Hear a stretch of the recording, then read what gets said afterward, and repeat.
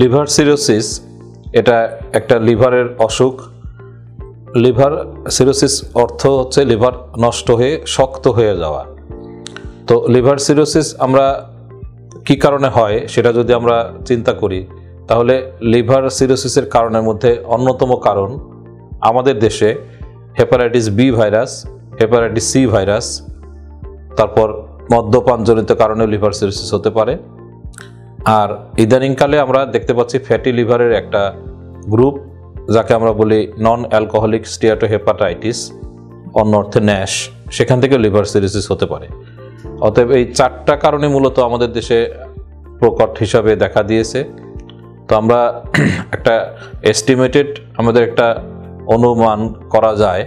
তো বাংলাদেশে জনসংখ্যা এখন ষোলো কোটি ধরে যদি আমরা হিসাব করি, তাহলে কিন্তু বি ভাইরাস, সি ভাইরাস, অ্যালকোহলজনিত কারণ এবং এই ফ্যাটি লিভারের যে ভ্যারিয়েন্টস, অর্থাৎ ন্যাশ, সব মিলিয়ে প্রায় এক কোটির মতো লোক কিন্তু এই লিভারের দীর্ঘসূত্রিত, অর্থাৎ ক্রনিক লিভার ডিজিজে ভোগেন। সেখান থেকে একটা অংশ, অর্থাৎ প্রায় তিরিশ বা চল্লিশ লাখের মতো লোকের কিন্তু লিভার সিরোসিসের একটা অবস্থা বা একটা পরিণতি নিয়ে তারা বসবাস করছেন। অনেকে হয়তো টের পেয়ে আমাদের কাছে চিকিৎসা নিতে আসেন এবং অনেকে সুপ্ত অবস্থায় এটা নিয়ে মানে বসবাস করেন। তো এখন প্রসঙ্গ আসে যে লিভার সিরোসিস হলে একজন মানুষ কীভাবে এটা বুঝতে পারবেন? লক্ষণগুলো কি? হ্যাঁ লক্ষণগুলো হচ্ছে এরকম যে আমি যে কারণগুলো বললাম, সেই কারণগুলোর অর্থাৎ হেপাটাইটিস বি ভাইরাস, সি ভাইরাসের কারণে জন্ডিস হতে পারে। সেই জন্ডিসটা দীর্ঘসূত্রিতা ক্রনিক হেপাটাইটিস করে পর- পরবর্তীতে লিভার সিরোসিস করতে পারে। আর ফ্যাটি লিভার সাধারণত আমরা জানি যে এটা ওবিসিটি অর্থাৎ স্থূলকায় যারা দেহ, তাদের বডি ওয়েট ওজন বেশি, তাদের মধ্যে হতে পারে যাদের ডায়াবেটিস আছে এবং ডায়াবেটিসটা আনকন্ট্রোলড অনিয়ন্ত্রিত, তাদের মধ্যে হতে পারে যাদের ডিজলিপিডিমে অর্থাৎ লিপিড মেটাবলিজমের যাদের সমস্যা, অর্থাৎ রক্তে কোলেস্টেরল বা চর্বি ট্রাইগ্লিসারাইড চর্বি এগুলো বেশি থাকে, তাদের হতে পারে।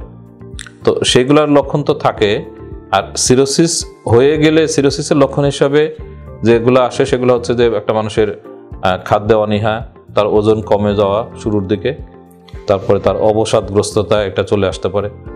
তারপরে এক পর্যায়ে যখন অ্যাডভান্সড হয়, তখন তার জন্ডিস পেটে পানি আসা বা কথা ভুলে যাওয়া, এমনকি সে অতিরিক্ত ঘুম, ভাব প্রিকমার মতো অবস্থা চলে আসে। আর জন্ডিস সর্বোপরি এটা ডিপ হতে থাকে অর্থাৎ এটা বিলিরুবিনের মাত্রাটা রক্তে বাড়তেই থাকে।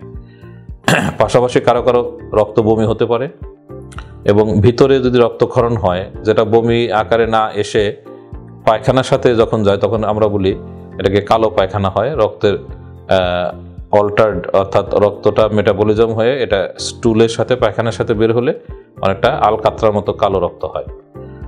এবং একটা রোগীর যখন চূড়ান্ত পর্যায়ে, অর্থাৎ সিরোসিসের শেষ পর্যায়ে চলে যায় তখন কিন্তু সে হয় পাগলের মতো প্রলাপ আচরণ করতে পারে, চিৎকার অথবা কাউকে কামড়ে দিতে পারে। আমরা বইতে লেখা আছে এরকম শব্দ বার্কিং ডগ অর্থাৎ সে অনেক চিৎকার, চেঁচামেচি এগুলো করতে পারে। পাশাপাশি সে হঠাৎ করে দেখা যায় সে মিউট হয়ে গেছে যখন তার প্রিকমার মতো চলে আসে এবং আস্তে আস্তে নিস্তেজ হয়ে যায়।